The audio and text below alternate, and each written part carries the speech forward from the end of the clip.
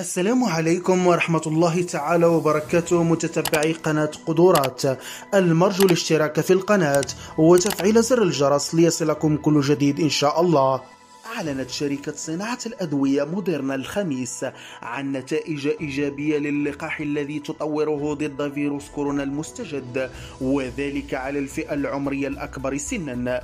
ووجدت الشركة أن الاستجابة المناعاتية للأشخاص من عمر 56 عاما وأكبر كانت بالقدر ذاته لمعدلات الاستجابة لدى الفئات العمرية الأصغر عمرا وهو ما يعد إشارة مشجعة لهذه الفئة الأكثر عرضة للخطر.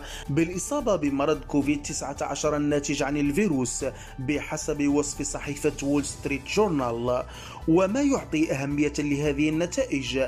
أن قوة الجهاز المناعي للإنسان تقل مع تقدم العمر ما يعني تقلص قدرة اللقاح على إحداث استجابة مناعتية ضد الفيروس وفق قناة الحرة؟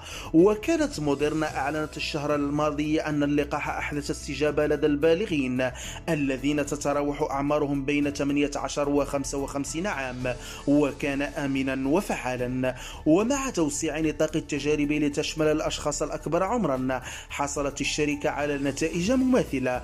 وكانت الشركة أعلنت الشهر الماضي أن اللقاح يمكن أن يصبح جاهزا للاستخدام على نطاق واسع بحلول نهاية العام. وقبل نحو أسبوعين وقعت موديرنا اتفاقية بقيمة 1.5 مليار دولار مع الحكومة الأمريكية لتوفير 100 مليون جرعة نوع من اللقاح وتوصلت الاتفاق أيضا مع الاتحاد الأوروبي على تزويد دول الكتلة بنحو 160 مليون جرعة. شكرا على حسن تتبعكم والسلام عليكم ورحمة الله تعالى وبركاته.